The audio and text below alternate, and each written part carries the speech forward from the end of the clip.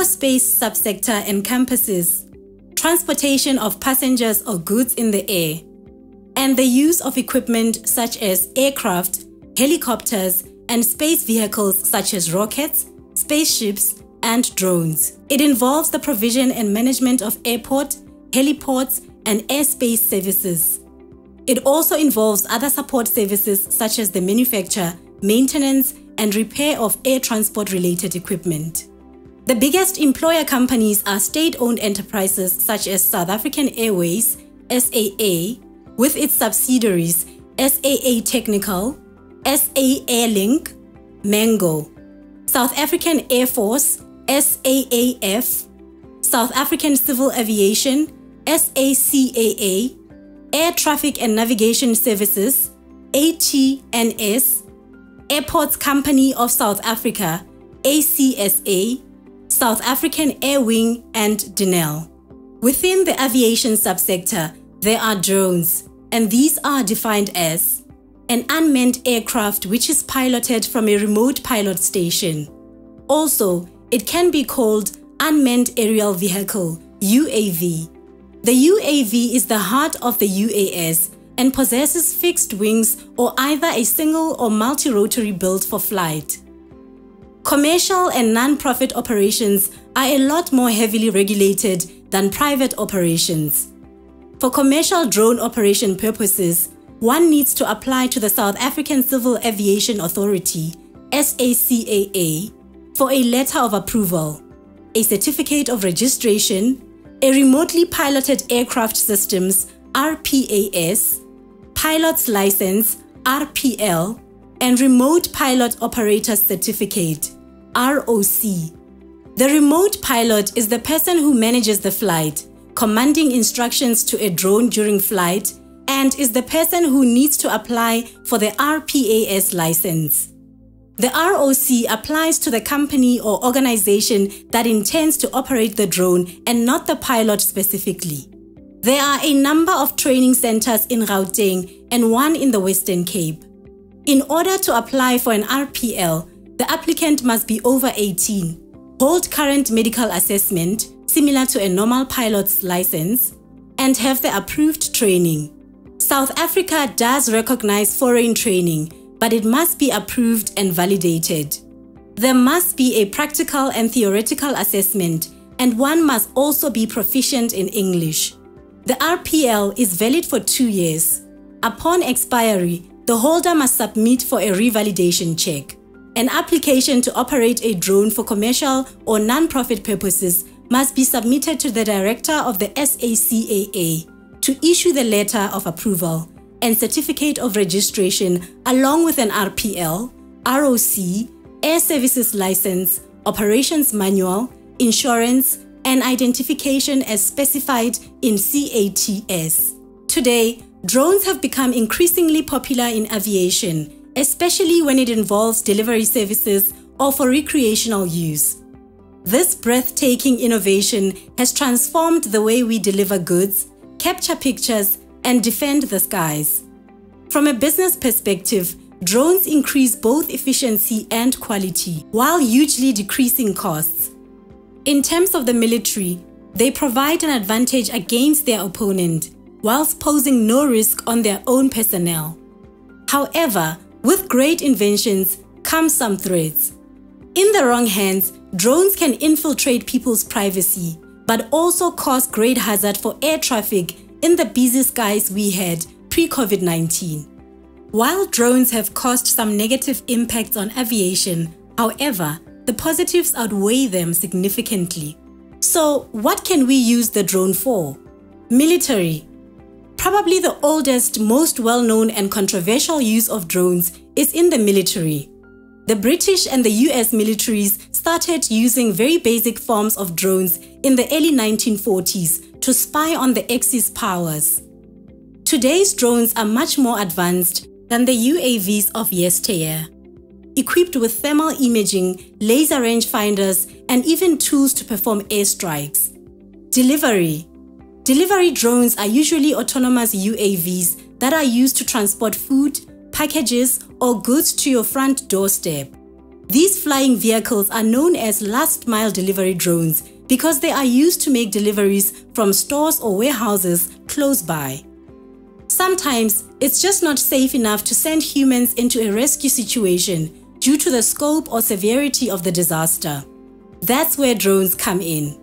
In the case of a capsized boat or drowning individual, officials can throw an autonomous underwater vehicle, AUV, into the water to assist in the rescue.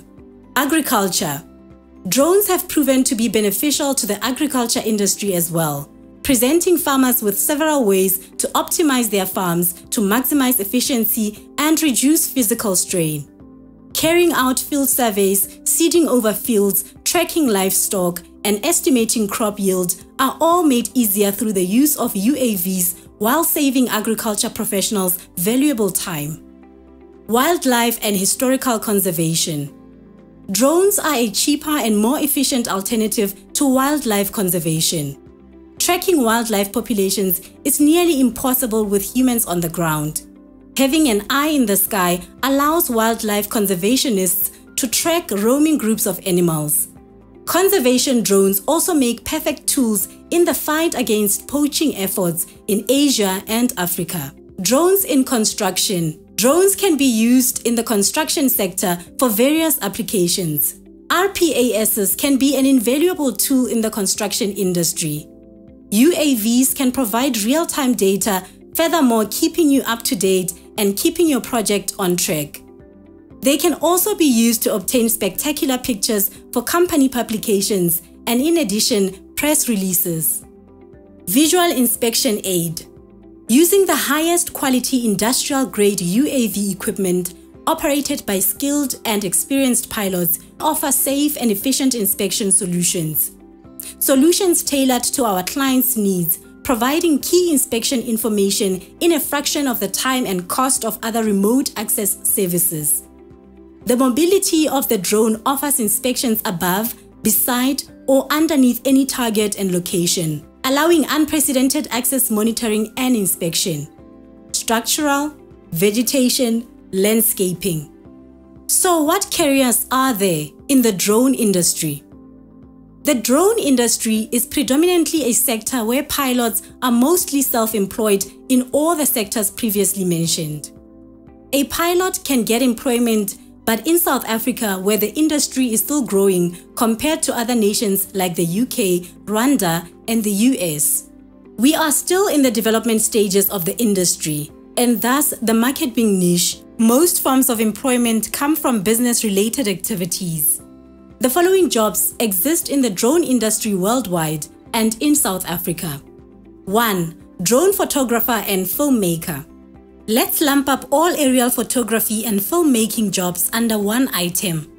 Just because describing all types of jobs under this category would be long enough to make a separate list.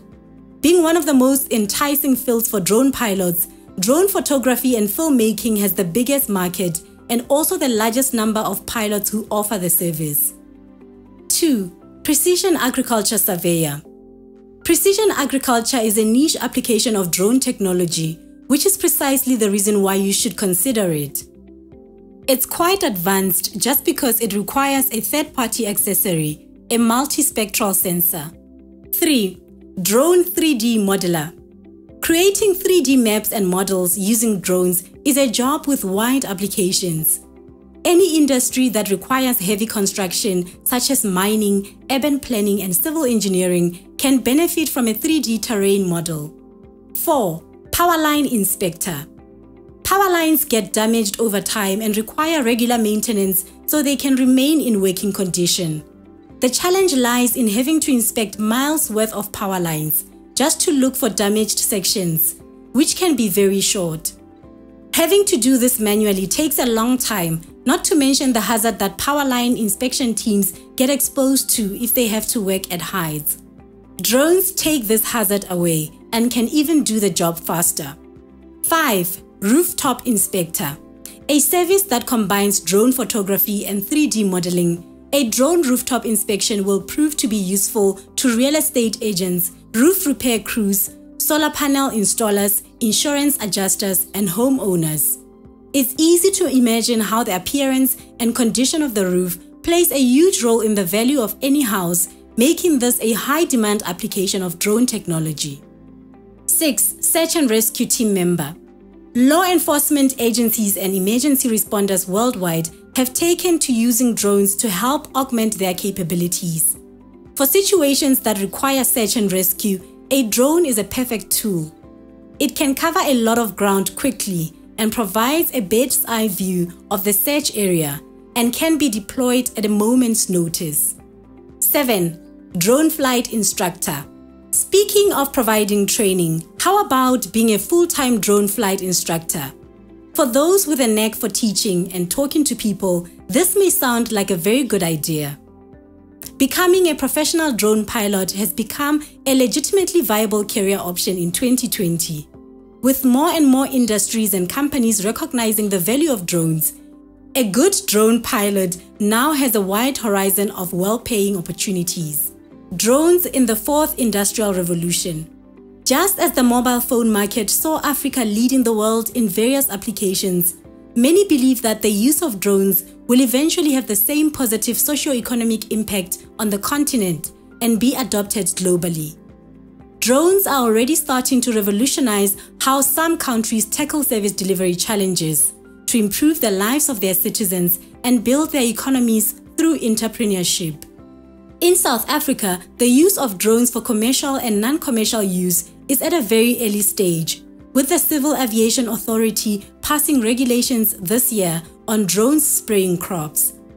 In conclusion, drones are driving the fourth industrial revolution, and we can only advance further in terms of development using drones.